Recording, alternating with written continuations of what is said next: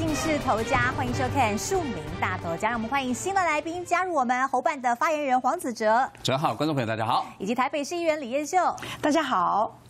在蓝白破局之后，柯文哲和幕僚连日爆料，影射说有国民党人士愿意花两亿美金要他当副手，还点名了三个人，说什么骗子、掮客一大堆。过去柯文哲在选台北市长的时候，也曾经造谣说对手收了企业家三亿元，如今说法听起来似乎是如出一辙。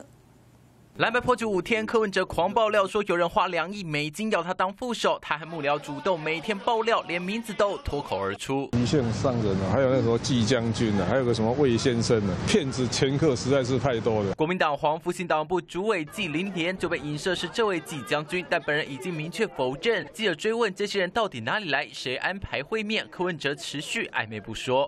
反正在过程当中哦，骗子了、掮客了哈，什么什么中间人一大堆，事情过去就。过去的就把那页翻过去，细节应该问那些幕僚，这个也不需要我在这里讲，而且越扯越多。难道骗子前科是科幕僚安排的吗？网友就痛骂，只有两种可能：若是骗子，难道随便一个人说要给你两亿美金你都信？这么容易被骗，选什么总统？而柯文哲还好意思说？但若真是前科就违法，若不讲不告就是姑息养奸，还是根本就是你栽赃的谎言？结果就打国民党来这个趁势生量，两亿美金这么大的事情，自从这当场条例之后，国民党一穷二白。哪里有两亿美金？两亿台币都很辛苦了，还两亿美金？骗子，他这么容易骗呢？大家还相信他吗？啊，如果是前科，这违法的问题。他这一番操作以后，真的让民进党得利了。柯文哲过去选台北市长就曾造谣三亿男捐钱给连胜文，当时他的态度如出一辙，讲的暧昧不清。我自己的选举了，我想去拜访某一个。企业家，你知道他怎么回答我？他已经出三亿的了，他已经投资了，他不要了，不要换人。离谱的是，法院彻查结果，柯建明作证，是柯文哲想要透过牵线找郭台铭，但最后两个人根本没见到面，也完全没有郭台铭给连胜文三亿这件事。而郭台铭只有因为郝罗宾是否盖花博捐过钱，而如今再问柯文哲当初为何说谎，在一张连胜文，他竟然这么讲。连胜文他家哪里需要跟人家拿三亿元，靠自己就够了。那时候对连胜文非常伤害非常大，你亲呢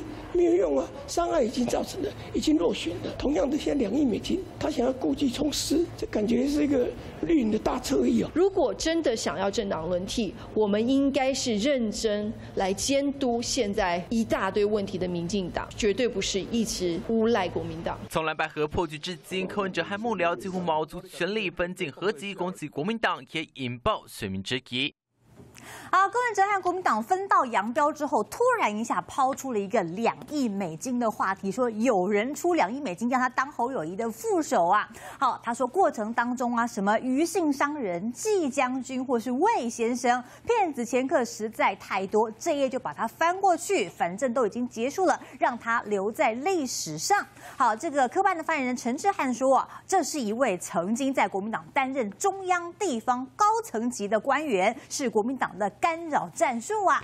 好，来听赵少康怎么回应呢？赵少康就说了：柯文哲，既然你已经讲出了一个这样的一个话，就不能够像黄树光一样说个放了话之后不收尾啊！那这个人到底是谁呢？搞得大家猜来猜去，不应该这样。你讲了就应该要负责任的讲到底。而国民党现在选举经费都已经很困难了，根本没有钱呐！什么两亿美金，恐怕连两亿台币都没有啊！好，传出了一个所谓的季将军，就有人说，难道是季林？林连将军吗？好，他就跳出来，赶快帮自己澄清了。他说：“我跟柯文哲唯一一次的碰面是在四年之前，跟柯文哲从来没有接触过，这该从何谈起呢？”好，新北市议员叶元之则说：“这个季将军啊，应该不是这个季林连将军，而是扁政府时期的另外一位叫做季泰来。他认为他跟绿营的关系比较深，跟国民党没什么关系。”好，媒体人尹乃金啊，也是访问柯文哲的时候，先出了这个两亿美金的话题。他说：“柯文哲喊。”话喊得很好听，说要不一样的选举钱不用花这么多。但是二零一四年三亿男的事件真相大白之后，发现根本没有这回事。有这样的记录的人，到底有哪一个企业敢捐钱给他呢？好，检方则说呢，这个柯文哲竟然肯爆料，请勇于检举来协助厘清案情，主动说明整个事实还有行贿的来源。因为如果真的有人说要给他两亿美金，那可就是已经涉及到贿选。的问题了。好，现在民进党打蛇随棍上，已经要求检方要来侦办调查了。柯文哲到底是真的想要政党轮替下架贪腐吗？还是他这样做变成是在抹黑国民党，想要当绿营侧翼？到底是哪一种呢？指责怎么看？刚才主持人念了这么多各方的陈述哈，我想观众朋友到现在可能还是搞不清楚到底发生什么事。为什么呢？因为柯文哲主席讲这个事情的时候有点没头没尾哦。如果说这是一个呃爆料哦，那这个重要的事件，那应该人事实地物应该一并讲出来嘛，这个才有公信力嘛。可是现在柯文哲主席看起来哈是带了一个话题哦，可是却没有把后面哦相关的资讯揭露，或者。根本完全揭露不出来，我不晓得。但是我要讲哦，既然他开了一个头了，其实他就要要负责任一点，把后面的相关事情讲出来哈。我必须要说，是不是柯文哲主席现在哈这个缺行程哈，但是看起来他不缺话题哦。那我觉得啦，这种影射的杀伤力最强哦。那柯文哲主席现在已经是总统的参选人了哈。类似这样这种事件或议题哈，我觉得应该要更负责任呐哈。我觉得这样不是大可不必了哈。那我觉得你看这个事情哈，包含哈有几个事情哈很怪异。第一个金额显不合理，两亿美元。我自己在 竞选总部七月一号进去哦，到现在为止竞选总部真的是很辛苦。哦，那我们也知道哈，在民进党执政之下哈，国民党真是蛮惨淡经营的哈，各项资源都缺乏哦。那所以有这种两亿美元这么高的金额哦，甚至要去抽原子汤哦，让柯文哲去当副手，这是天价哦。那我我我好奇的说，连柯文哲都觉得说这可能是这个骗子啦哈，这个这个什么东西的，那怎么会他还把这件事情哦没有把它翻页，甚至在这个时间点把它。揭露出来哦，所以我刚刚讲金额显不合理啊，时机啊也显有猫腻。这个事件不是昨天才发生的，前天发生的。这件照他们说法，好像有一个多月前，一两个月前。那在整个在蓝白河的这个哦互动的过程中，从来没有接到任何相关的讯息。哦，如果有，如我一说，如果真的有发生这个事，他好歹来问一下嘛。哦，那问一下侯办的人员，问我也可以哦。他说，哎，你们是不是有一个什么侯什么季将军、余姓商人魏先生，是不是有那个在牵线呐？要把我搓掉啊，还是什么查证或求证？至少我没有哦，我想我们内部也不会有，所以我要讲了哈，就是说这个哦当做茶余饭后话题可以哦，我觉得应该要适可而止了，不然再是延烧下去，我认为这是一个损人不利己的方式了。我知道柯文哲主席的空战很强。但是这个空战是媒体网络的空战，不是内容空洞的空啊！因为这个事情，我说的不知道怎么评论起，因为没有相关的人出来证实说，哎，这个人是我哦，这个钱也是对的哦，数字是对，什么都没有。所以我觉得选战还是要回到这个正轨哦。你说辩论政策也好，哈，或者是愿景也好，我觉得这个是比较好的方式了。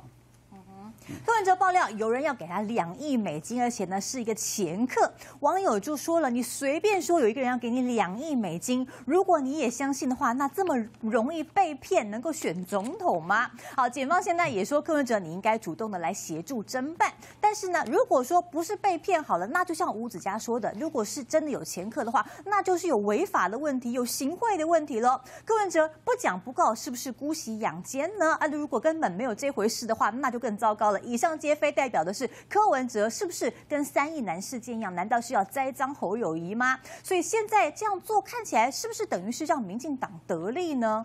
燕秀怎么看？我觉得这三组总统候选人里面，果然还是柯文哲最会制造话题哦。我昨天来开会的时候，跟朱立伦讲说，大账房里面原来有六十亿台币在哪里？我说小鸡选的很辛苦，我六十五位小鸡要多想办法。朱立伦很无奈哦。不过我我我觉得这整件事情哦，就是说，呃，在蓝白河的过程当中，柯文哲应该知道。沟通的过程当中，会知道沟通的内容。国民党会跟他沟通互动人绝对不超过五个人。我身为国民党的副秘书长主任，其实他们什么时候沟通，沟通哪些事情，我完全不知道。所以也就是说，这件事情柯文哲应该知道，跟他会负责对话的，其实只有几个人。恐怕连此责在侯办，他都不一定知道他们什么时候见面，见面地点在哪里。哦，所以我觉得柯文哲这这个讯息丢出来，我觉得。像选举过程当中，我们自己会接收到很多讯息，我们自己会判断哪些是真，哪些是假。就像网友讲的，如果连这些事情都没有办法去判断的话，你怎么去做一个总怎怎么去参选一个总统？所以我觉得这个事情拿来。讨论的话，我觉得也凸显出柯文哲讲这件事情就是在制造声量哦。那也会凸显出柯文哲在判断整体团队在在判断很多事情上是不是不够周延哦。那所以我觉得这件事情只是凸显出民民众党在整体的运作上其实是有问题的。哦，不过柯文哲最近开始感叹，他说自从蓝白整合不成之后啊，原本说赞助他的企业都变得很冷淡。二零一四年柯文哲出来选市长，当时啊就说了有个三亿男要给他的对手连胜文三亿元，结果呢，哎，影射他拿了财团钱之后呢，当时负责牵线的柯建明就出来澄清了，说当时原来柯文哲要找柯建明来帮忙牵线募款，结果对方说已经答应要给世博馆捐款三亿元，结果竟然被柯文。就拿来栽赃，说是给了连胜文三亿元。柯文哲口口声声说要打一场不一样的、干净的选战，话讲得很漂亮。但是过去有这个三亿男的这样的一个记录，现在难道又要影射一个两亿美金的前客吗？所以啦，就像这个哦，尹乃金说的，如果你已经有过这样的记录，到底哪一个企业真的敢捐钱给他呢？蔡委员怎么看？任何一个候选人，如果你没有当选的希望，要找到捐款真的不太容易。所以，任何一个在总统选举排第三名的啊，难免的所有的企业捐款都会收手。这个叫做人间冷暖，正常现象。那如果人家觉得你有当选几率的话，那当然他也愿意啊，比较乐于捐钱给你。至于这个柯文哲在二零一四年的表现哈，有两件事情的确实在是。不太那么样的呃，这个适合在正常选举里面选举。一个就是讲的所谓的三亿男，他讲的就是郭台铭啊。那第二个老鼠尾窃听事件，大家忘了这个事吗？后来找到一他自己人弄出来的哈。但是，可是我当时很遗憾的一件事情就是说，绿媒当然会抓这个猛打这个连胜文跟国民党，可是我当时也发现到的，事实上打的最厉啊，还不一定是绿媒哦。啊，抹核爆啊，打得更凶啊，所以这种状况哦，在选战上面哦，会变成漫天烽火，你根本分不清楚谁是你的朋友，谁是你的敌人啊。哎，那在柯文哲哈，这个提这个哈，或者国这个火影国民党要回应啊，要很小心。我也在讲要很小心。那叶元之竟然讲出来说，不是纪灵莲，是纪泰来。那没有错啊！你讲季泰来是在阿扁时代国安局的官员，那因为当时的警政署长是侯友谊，所以他们两个关系很好，你就不要去扯说跟利用有关，那不是暗示侯友谊跟利用关系很好吗？我觉得不妥。那季泰来的确是在这一次的过程里面，呃，有扮演着某种程度的侯友谊阵营跟这个柯文哲阵营里面联系的一个角色哈，但是很确定的。他跟这个所谓的两亿美金事件是无关的，只是柯文哲把它弄在一起，跟把它弄在一起。那另外一个余姓哈，呃，大家也都曝光，就是余金宝嘛，哈，啊，他在华人圈里面就是一个怎么讲呢？比较会信口开河的人啊。那他的确台湾哦，蓝绿各方面哈阵营里面他都有一点来往哦，所以这个东西在处理起来哈，等于是在让。柯文哲有借力使力去扩大蓝白切以后的感情的失和问题啊！现在就是说，对于这个白影人来讲，他们可能会呃惦记着那一些不愉快的事情，他认为他是是吃亏的啊，所以季太来中间扮了一个角色。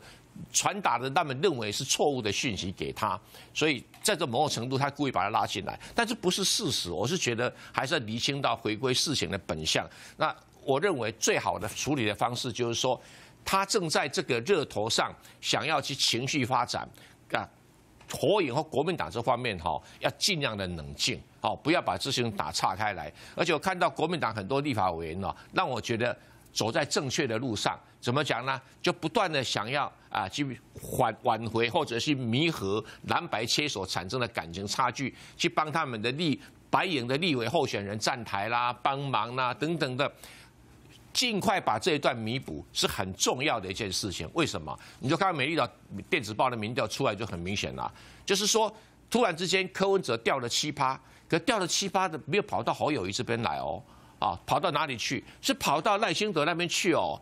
七趴里面有四点五趴跑到赖清德，然后两点五趴呢跑到未表态的一个决定，而里面大部分是二十到九岁哦。